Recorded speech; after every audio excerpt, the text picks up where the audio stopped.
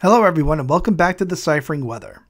In today's video, we're going to discuss Disturbance 1 and if it's going to develop in the Gulf of Mexico or off the east coast of the United States. If you like detailed weather breakdowns, hit the subscribe button and notification bell to get all of my upcoming videos. So we're looking at the latest satellite image of the Atlantic Basin thanks to tropicaltidbits.com for Tuesday, July 30th, 2024. The black arrow is pointing towards disturbance 1.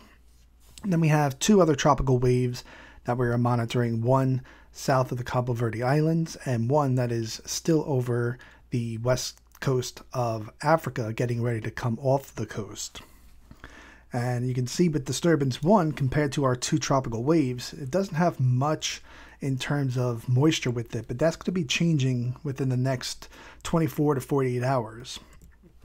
As you can see, we have our two pieces of vorticity associated with disturbance 1, as we have two tropical waves that are actually merging together into one tropical entity. And once that is complete and gets into a more favorable environment, we'll see the moisture start to come back to life with this tropical system. As you can see right now, we don't have much going on.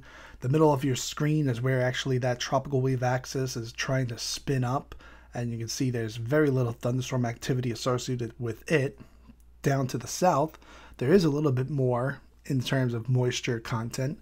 Uh, it's because this wave is embedded right now in the Saharan air layer. So because of that, it's got a 0% chance of developing over the next two days. But over the next seven days, it's now up to 60% chance of developing, according to the National Hurricane Center. Uh, yesterday was at a 50 50 chance. Now we're up to 60% over the next seven days. So chances are increasing. So let's see what's going on on the models. Here's the GFS model. 850 millibar cyclonic vorticity. So again, this is the spin and energy in the atmosphere, about 1,000 to 5,000 feet up from the atmosphere, from the surface. The black hexagon would be disturbance one, right below the center line of our Bermuda Azores High, and then our two tropical waves in pink and purple behind it.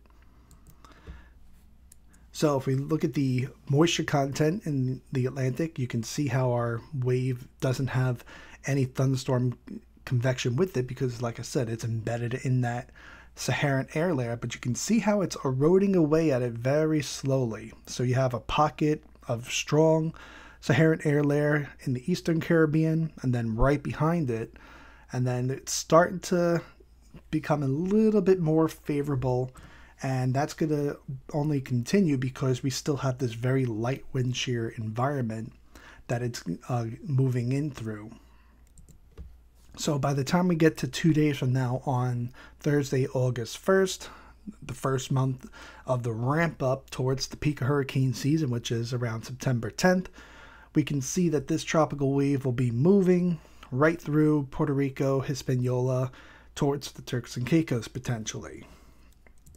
And by that time, you can see how the moisture has now returned with this, so expect at least impacts in the form of flooding rain, mudslides, flash flooding, you name it, with the mountainous regions of Hispaniola and Puerto Rico, you'll you could potentially see a lot of rainfall from the system, even if it's not a tropical storm or hurricane at that point. Now you can see as it continues moving in that northwest flow across the island, you can see it's going to be moving into more favorable environments.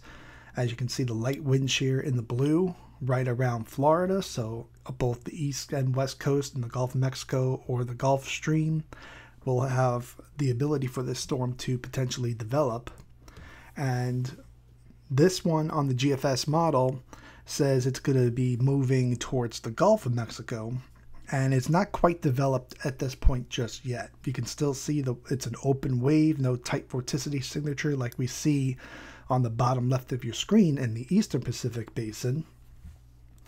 And there's going to be a ton of moisture that's going to be surging up from South uh, Central America to help fuel this storm and the light wind shear environment in the Gulf of Mexico.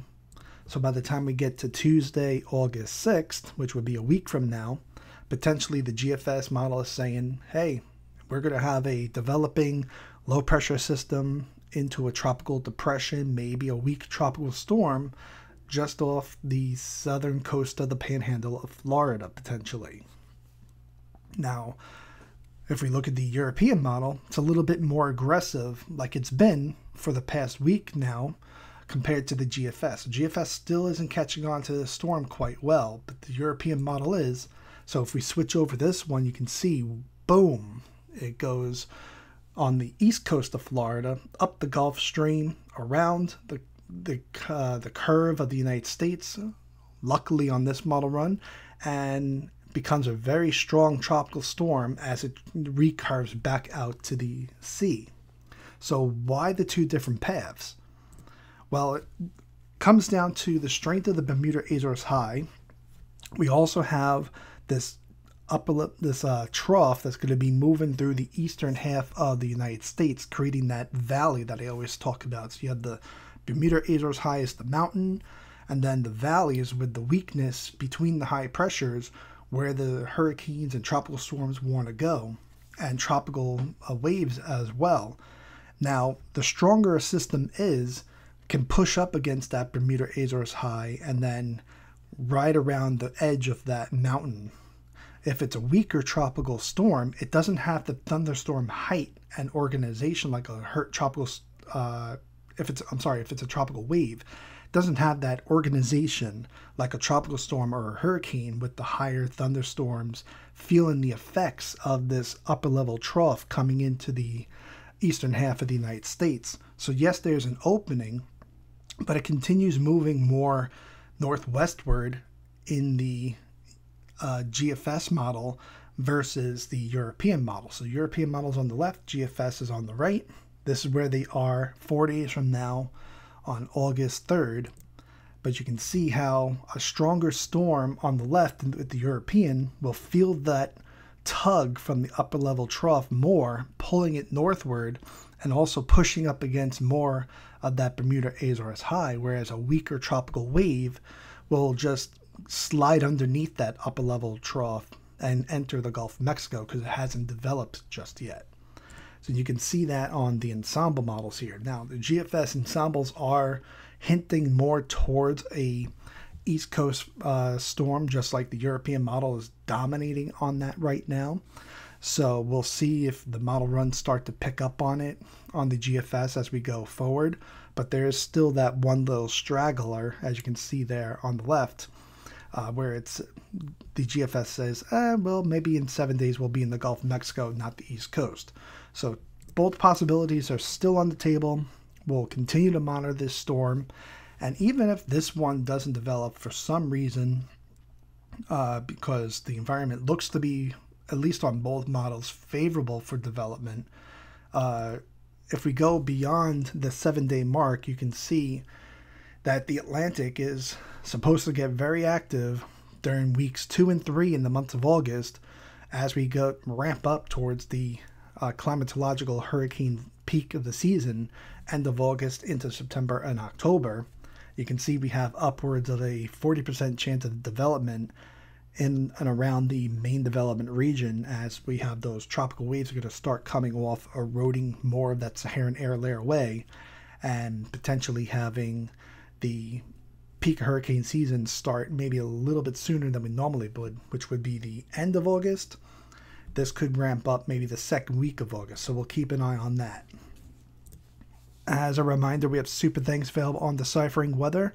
So if you'd like to donate to the channel, please go down to the heart button where it says thanks. Thank you for watching this video. If you liked it, please hit the like button and leave a comment. Please share this video with your family and friends on social media. And if you're new and like detailed weather breakdowns, hit the subscribe button and notification bell to get all of my upcoming videos. Thank you and have a great day.